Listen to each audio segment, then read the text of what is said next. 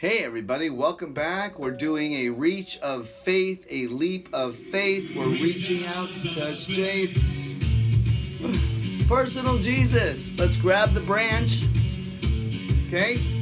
Let's filter through some flood of waters with some fire. Give an offering to our God Hashem. And we're going to get into Ezekiel and the conversation.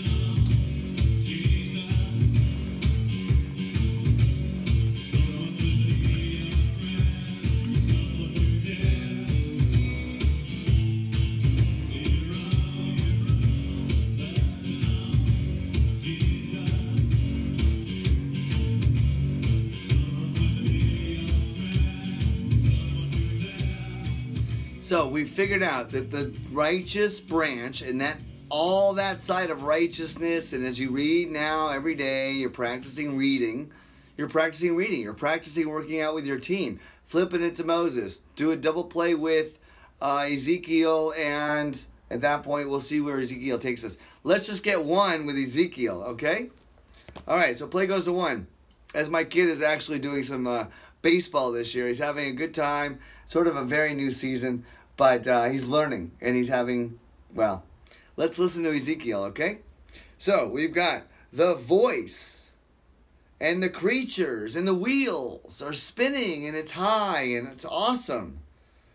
And there came a voice from above the vaults over their heads, like the appearance of a rainbow, was a figure like that of a man surrounded top and bottom like full of fire. This was the appearance and the likeness of the glory of the Lord.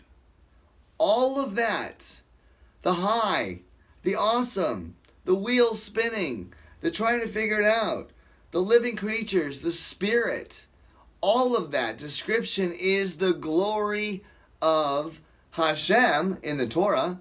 Notice really important the distinction between Hashem, hash, and then you get CH for Kane. You also get CH for hash, and then you get cash. That was a revelation I had a few days ago as well. I was like, wait, hash, cash. Ah, I was like, oh no, you got honey and money. It's the same tree. The tree itself is the distinctive part. Do we serve God or we just use it for ourselves?